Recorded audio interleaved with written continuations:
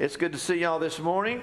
We are going to be talking about fundamental basics of the Word of God and faith this morning. So stand with me for the reading of the Word of God, please, this morning. We're going to talk about the uh, God's Word of creation. We're going to look at it in Genesis and in John and once more in Hebrews, okay? So here's what the Bible said Genesis 1 1. In the beginning, God created the heaven and the earth. The earth was without form and void, darkness was on the face of the deep, and the Spirit of God was hovering over the face of the waters. Then God said, Let there be light, and there was light. Over in the book of, uh, of John, John chapter 1, the Gospel of John, beginning with verse number 1. In the beginning, that sound familiar? In the beginning was the Word. The Word was with God, and the Word was God. He was in the beginning with God. All things were made through him, and without him nothing was made that was made. In him was life, and the life was the light of men.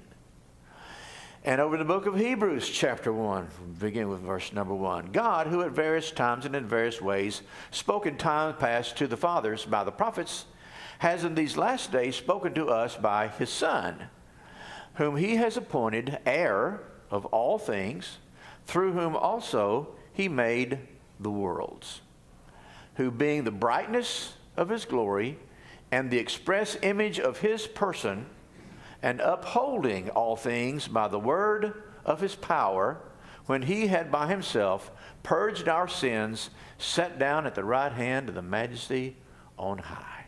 Let's pray. Lord, again, we love you.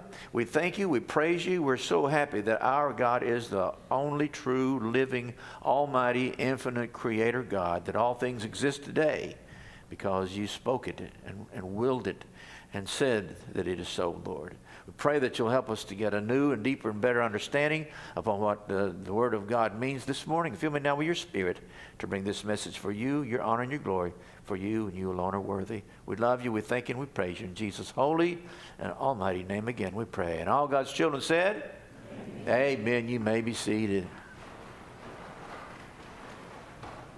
Genesis 1 1 says, In the beginning, God created the heavens and the earth. And as I've told you before, if you'll decide whether or not you believe that, if you decide that you believe Genesis 1 1, you will have no problem believing everything else the Bible says. If Genesis 1 1 is the truth, that, that means that there is a single Lord God Almighty and that He is capable of speaking into absolutely nothing and creating everything. If God made the dirt under our feet, if God created the sun in the sky, if God created the, the stars in the sky, if God made you from the dust of the earth, if he did all the, if, if God kept his word in Genesis 1 1 and capable of doing that, then there is absolutely nothing else in the Bible that you should have a hard time accepting as it is. Okay? Either he is Almighty God or he's not. Either he tells the truth or he's a liar. Either he exists and does everything he says, or he doesn't exist. And where does that leave us? So, in all of your faith and all of your believing, you have to latch on to where God says it all begins in the beginning. That God created the heavens the earth. That He did that. And when you read about how He did it, you find this. You find that God brought all these things into existence by speaking it. He said the word. This is very important for a Christian. For your faith, your faith as a Christian is all wrapped up in what you say. The Bible says that out of the abundance of your heart, your mouth speaks. And your spoken word has great, mighty power. The Bible says life and death are in the power of the tongue. The Bible says you believe in your heart that, that God raised Jesus from the dead and you confess with your mouth that Jesus is Lord. What you say is very, very important. And it is inextricably locked in with, with, with what you believe and how your beliefs become real in your life. Now, when God spoke back in the day, Genesis chapter 1, when God said the word, He said, Let there be light. And man, there was light. There was a universe filled with light. And out of this universe filled with light, God began to refine what He had made, made the, uh, the, the dry land and the sky and the fish and the birds and the plants, and eventually on the sixth day made mankind. And so God began to define and refine what He had originally made because He makes something out of nothing and He makes something out of something because God can just do that, okay? But He did all these things with His spoken word. God said, He spoke the word. Now, in the Bible, the word word is very important, especially in the Gospel of John. In the Gospel of John, he, uh, Brother John, the disciple, reaches way back to Genesis chapter 1, in the beginning. So, you know, he's, he's hooking together right there. He's hooking his wagon to Genesis 1 1. In beginning, God created the heavens and the earth. He said, In beginning was the Word. The Word was with God. That means there's two of them. The Word was God, which means there's one of them. The same one was in the beginning with God. All right? So you got the Father, you got the Son, and the Spirit of God hovering over the, over the face of the water. So you got to try triune God. Now that's just something you have to accept by faith because you'll never understand it, not even in heaven. God is way too big. He will not fit in any of your boxes. Amen? He's way too big for that. And I like a God because if I could understand God, I'd be God too. You'd all be in trouble. Now then, so God said, now stick with me, and this is important. God said, I create things by speaking my word. And then when it comes to the New Testament, then in the beginning was the word. And by, in chapter, in that chap, same chapter, chapter 1, in verse number uh, 14, John says, And the word was made flesh and dwelt among us. And we beheld his glory, the glory is of the only begotten of the Father, full of grace and truth. That's John 1.14. Now, what you need to understand about the word word is this. When God says something, and in, in the Gospel of John, it's the word uh, logos, L O G O S in English, okay? And we'll talk more about that next Sunday. But what you need to understand about, about, about the Word of God, here in John, in the beginning was the Word. All things were made by Him, and without Him was not anything that was made. All things that exist exist because of the living Word of God. And the Word of God means that God takes all that He's thinking and takes all that He's feeling, takes all of His intentions, all of His plans, and all of His details, and He brings that all together so God speaks from His heart and from His soul and from His mind and from His strength. And all of God goes into what God says. God said, Let there be light. And it wasn't just photons flying through a universe, it's also enlightenment and, and the light for our, souls and for our spirits and for our salvation. John said it this way He said, In him was life, and, and the life was the light of men. So Jesus is the light, the light of the world. We've heard these things before. It's what he means. That in Genesis 1, God said, Let there be light, and there was light in the universe. In John chapter 1, God said, Here's my word, He is the light. And so when God, when God came to this earth in the form of Jesus Christ, our Savior and Messiah, He took all that was in His mind, all that He thought, and all that He liked, and all that He loved. He took all that was in His heart, all that He felt about His Son and about our souls all that he understood and all the plans that he had made for his people from Genesis through Revelation and beyond. He took all of that, and that's his expression, his word, when you see the Lord Jesus Christ walking around. It's the same power of God. It's the same heart of God. It's the same reasoning and wisdom and infinite knowledge and understanding and and power and love and joy and peace and everything that God is and He has for us. All that is what it's expressed in God's Word. You with me? Okay. So, if God didn't say it, it cannot exist. Stick with me. Everything existed in Genesis chapter 1 because God said it. Let there be light. Let there be a firmament, an atmosphere. Let there be water. Let there be swarms of fish and birds and all these things. So if God didn't say it, it did not exist. You know why there are no purple unicorns? Because God never said, let there be purple unicorns. That we know of. Right? You know why I'm not six feet tall? God says, Thou shalt be 10 foot, a 5 foot, and 10 and a half inches on a good day with your shoes on. You know why we only have one son? Because God didn't say have two suns or moons. Everything God says becomes reality, tangible physical reality.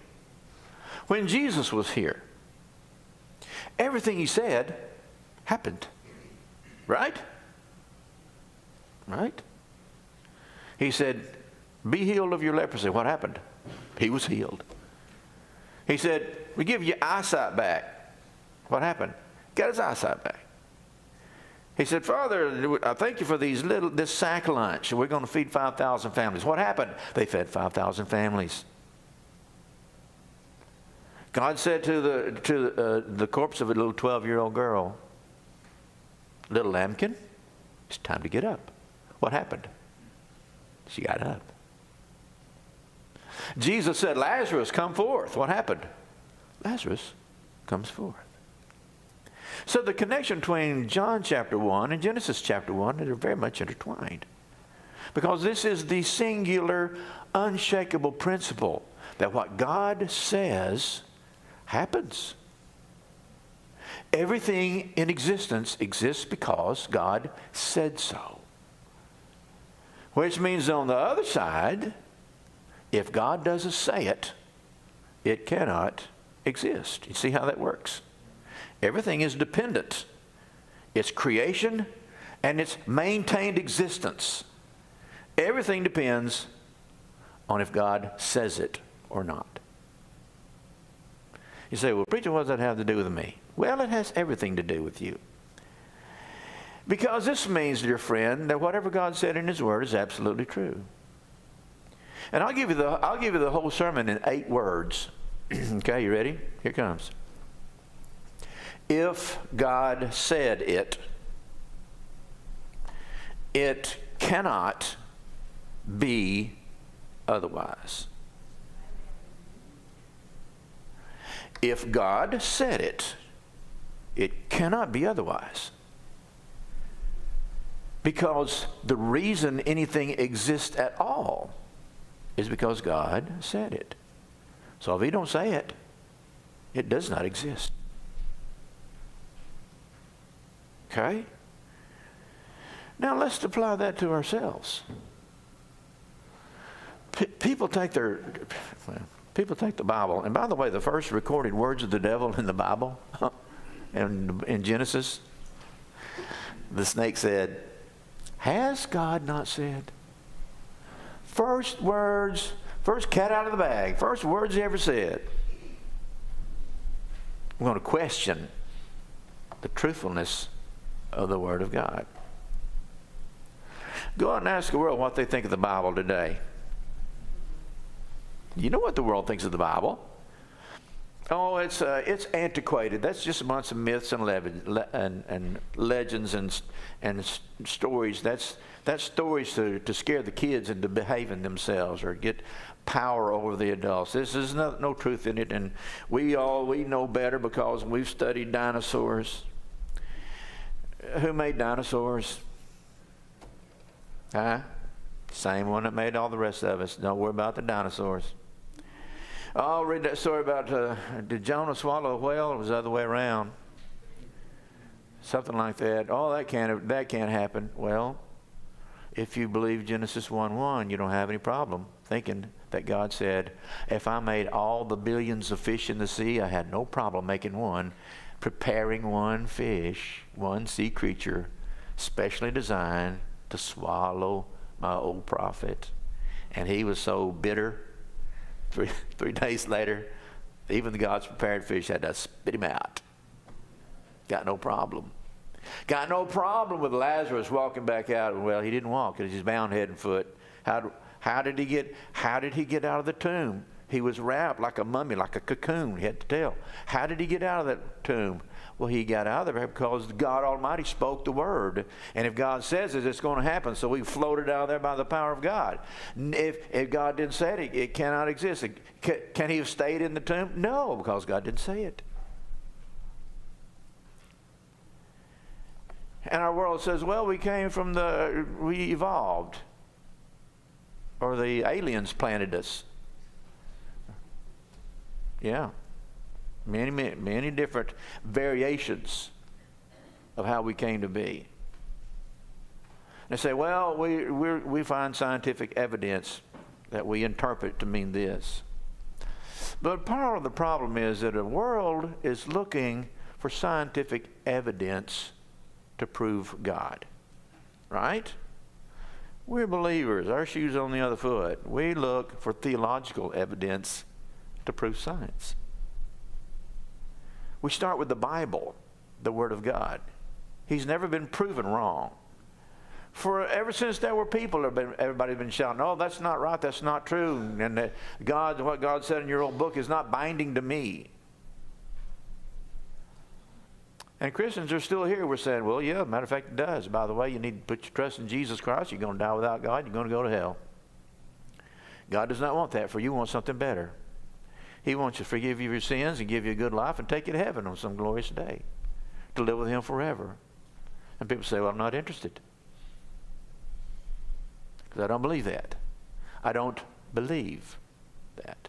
So you and I believe what the Bible says. So, in, in our faith, then, we say, Well, what do I believe? And, uh, you know, the world says, well, we have our own beliefs about uh, gender identification, about abortion, about uh, Israel, about the list goes on. And it's a, hey, it's an election year. Pick your poison, right? Right? Oh, we've got we've got issues, issues, issues, and more issues. And everybody's got opinions. How many here are sick of opinions? Opinions. I'm going to do you, do you a favor. I'm going to keep my opinion to myself. Amen? I'm going to keep my opinion to the curb because I am not God. He is. And if God didn't say it, it cannot exist. So if God said it, it cannot be otherwise. You, you, it's not going to do you any good to have a different religion. God didn't say that's the way to God. Jesus said, I am the way, the truth, and life. No one comes to the Father but by me. So if you're going to go to God as a Father, the only way is to be born into the family through the blood of Jesus Christ. Amen? You see how this works? Now, can you lose your salvation? Can you come unborn? Let's get some low hanging fruit here. You put your faith and trust in Jesus. God went to all the trouble, sent his son, death, burial, and resurrection to bring you to Christ, got the gospel to you forgave you, washed you, made you a child of God. Your spirit was born in the family of God. Can that come undone? Can you come unborn? Can you lose your salvation? No. Why? Because of what God said. Because of what God said. If God said it, it cannot be otherwise. If he said I have everlasting life, John 3:16, it cannot be otherwise. I can't have temporary everlasting life. How do I know that? How, look, I've never been to heaven. Have you? Anybody here been to heaven? I know I'm going. Why? Because God said it. If God said it, it cannot be otherwise.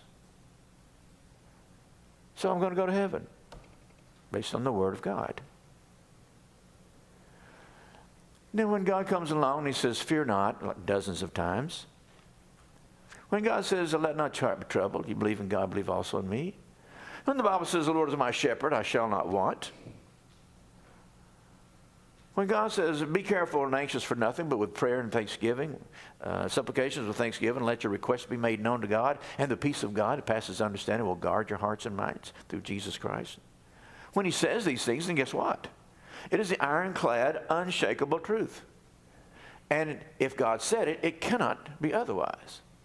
I cannot say, well, I, have got nothing to, I have no choice. I, I have to be afraid because God didn't say that. Or, oh, maybe they're, they're right about this, and maybe the world's wrong, right about that, and I, maybe I'm wrong because I don't understand these things. Well, what does the Bible say? And so, again, we come back to our regular daily Bible reading and Bible study because if you don't know what the Bible says, then you don't know what God says. And you don't know how to put, where to put your faith. Now, our, our struggle with our faith is full of doubts. Jesus said, if you believe in your heart, without doubt, you move mountains. James said, if you lack wisdom, ask of God. He gives all men liberally. But let him ask, nothing doubting. Double minded man is unstable in all his ways. Let not that person think he'll receive anything from God. So our problem is our doubt. Was a man came to Jesus, his son was demon possessed. It was terrible, it's horrible. The disciples tried, they couldn't handle it. So the man turns to Jesus. He says, You know, if you can help me, would you please? And Jesus says, If? If I can help you? If I can do anything? All things are possible to him who believes, without a doubt. And the honest dad said this Lord, I believe, help my unbelief. Now, let me tell you the secret about doubt. When you believe one thing but you have doubts, here's what you need to know about your doubt that doubt is an alternative belief. I believe it is, but kind of me believes maybe it isn't. It's an alternate belief. I believe in God, but part of me don't believe in God. I believe I'm saved, but part of me believes maybe I'm not saved. That's what a doubt is. It's a secondary, contradictory different type of belief. And so your belief tries to take you, your faith in God tries to take you this way. And those doubts, those alternate beliefs, well, what if I get in trouble? What if God's not really there? What if He lets me down? What if that's not true? What if God don't really love me? I don't love myself a lot of times. Why should God? What if, what if the world's right about the aliens or the dinosaurs or evolution or what? What if they're right about all these things? And, and so that's an alternate belief and we get crossways in the things that we believe. It's like a wave of the sea, driven by the wind and tossed back and forth. It's this way, it's that way, it's this way this way. And it is exhausting, is it not? Isn't it? To wrestle and struggle with something that you believe is absolutely exhausting when you have doubts. Because about the time I get ready to go one direction, I mean, I got this lined out, I understand it, then here comes this idea, this thought, this doubt, this alt, this alternate belief that pulls me in a different direction, and now I'm wandering around, and nothing gets done. That makes sense? So, what we do then is we all turn back to the Word of God because the best way to remove doubt is to see what God said. Because if God said it, it cannot be otherwise. It only exists because God says it. If He don't say it, it doesn't exist. Evolution looks good on paper, looks great in a, in a museum. But what God say? He says something completely different. So if God didn't say it, it cannot. So I'll go back to the Word of God. So I want to read the Bible. I want to study my Bible. I want to know what God said. Because it's going to strengthen me in my faith. Because you know what we need in this life is the ability to go straight ahead and march forward and not have to worry about all this noise around our, uh, in our head. We live in a world that is absolutely filled with distractions all the time. You know? I mean, I got a, I got a mighty fine financial opportunity in the middle of Sunday school hour this morning on my phone. Oh, I need to help. I need to help save the country from the Democrats. Five minutes later, I'll get the same thing. So, oh, well, I got to help save the country from the Republicans. And it's some some hacker over in uh, Kazakhstan or something. He's just trying to get my money, and it's constant. It's constant. I get text messages from my bed. Tell me how I slept. Why? I can't watch a video. I can't drive down the road. I can't do anything without seeing an advertisement. Uh, the whole world is constantly screaming, screaming, screaming for your attention, and it's driving you nuts. You can't get a, you can't get a minute's peace. Well, actually, you can't. Here's a phenomenal, monumental, life-changing idea. Take a break from all that stuff from time to time, and just sit and be quiet and see if you can get your mind to focus on anything for more than 10 seconds. Put yourself to the test and see just what a ping pong ball uh, your attention span really is. It's shocking. And I'll tell you the secret then to getting a longer uh, attention span and getting more out of life. You need something that you can focus on for more than 10 seconds. I would recommend the Word of God. Because what God says is true. What God said exists is. And if God didn't say it, it cannot exist. And if God said it, it cannot be otherwise. And this will solve a lot of issues and give you peace of heart and peace of mind. You won't worry about your soul because your soul is going to be just fine. The Lord is your shepherd, and you shall not want. And God said, Yeah, you'll have hard times, but I promise you, I'll, I'll make the hard times bring forth something good. Amen?